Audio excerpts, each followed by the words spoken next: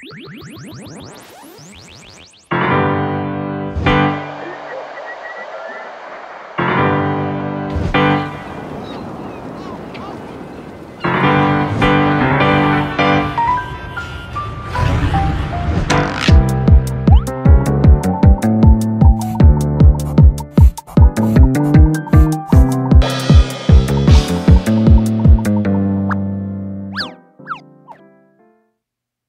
哈喽哈，我是星期天。您现在收看的是《故事台北第四话之台北甜甜圈》。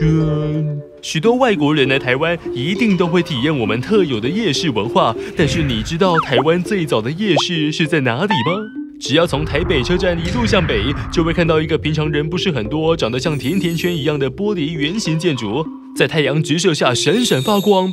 没有错，这个神秘的地方就是台北圆环。说到圆环，那可是以前台北的美食地标啊，就像现在大家都会想到士林夜市大香肠一样。许多老台北人一听到这个圆环，立刻就口水流到地板上了。不过，为什么以前制霸台北的小吃天堂，现在却像是一个体验温室效应的玻璃蚊子馆呢？这就要从好久以前开始说起了。台北圆环以前又叫做建成圆环，因为在日治时期，这叫做建成亭。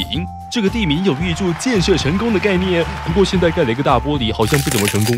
从前从前，这里和其他地方一样，只是一块甜甜。但是随着淡水河里的商船和铁轨上的火车嘟嘟常常路过这附近，大道城兴起，嘣，台北城兴起，嘣，这甜甜就变成交通要道了。日本政府来了以后，有天一个心血来潮，想在这边盖公园，就在附近的几条马路上画出了一个大大的呼啦圈，沿着边边种上了好漂漂的七里香香，还摆了一排排好舒服的长板凳凳，一个圆公园就这样出现了。来往众多的商人和村民们喜欢来这里散步休息，眼尖的生意人看到的商机，就开始摆起摊贩叫卖，结果发现赚到一个不行哦。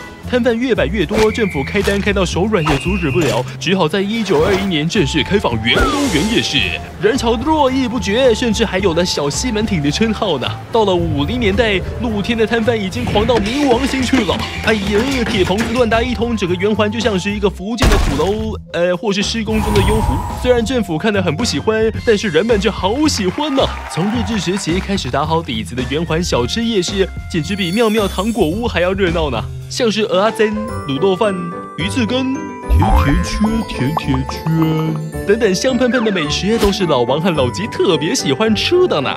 一直到八零年代以前，这个地方都可称得上是骨灰级的美食殿堂啊。哎，那这么火红的夜市，现在怎么会消失呢？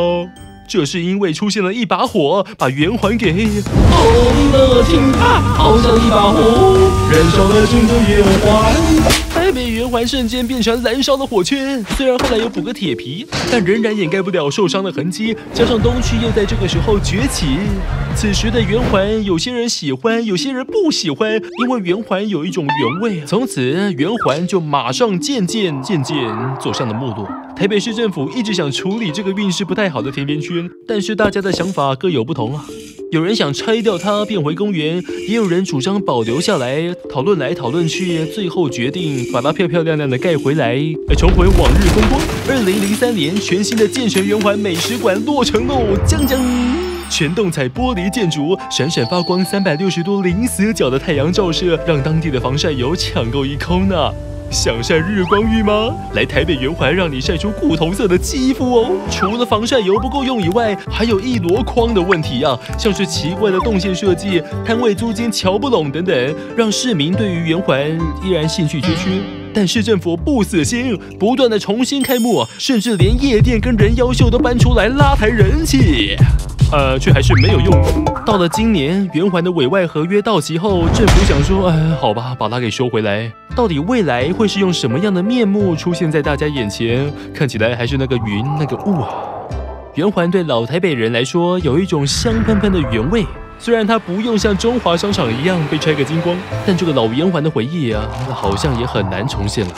今天的年轻人经过圆环，可能会有种哇哦，这里可以养好多蚊子啊的感觉。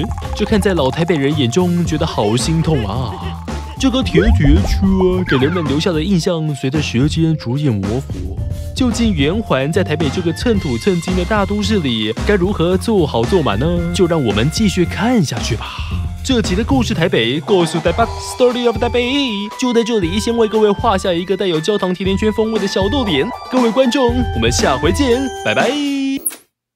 看完的台北甜甜圈的故事，是不是有一点饿了呢？又快要到一年一度可以毫无罪恶感、爽快大吃大喝的新年了！说到过年的吃吃喝喝，就不能不提到霸王色骨灰殿堂级鼻祖的龙头地带，也就是我们故事台北初登场的时候介绍过的台北年货大街啦。如果你不太认识这条全台第一的街街是怎么来的，这里有传送门，赶紧去温习一下哦。今年台北年货大街也要迈入二十一周年，哎，每年不是都有年货大街吗？今年又有什么特别？拜托啊！今年从一月二十三号开始，为期两周的年货大街，为了获得民众的注目，整个展开了激烈大战啊！首先，柯老板抽出了一张魔法卡——真敌化奥义转，发动了年味攻击。在全新概念店台北干妈店中召唤出了超过十五个有想法、有故事的大道城上古神兽，而谢老板则在永乐广场前发动了一张陷阱卡，救急名画店，还原出了一九二零年代南街英阵图的真实情景，试图比下柯老板的风头。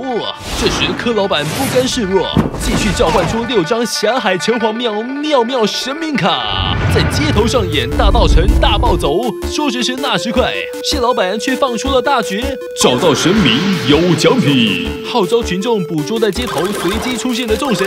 想知道今年这场迪化街疯狂新年大乱斗中，柯老板跟谢老板还推出了什么酷炫的活动吗？赶快到台北年货大街粉丝团看看吧，一起发现更多的台北故事。故事台北，我们下回见。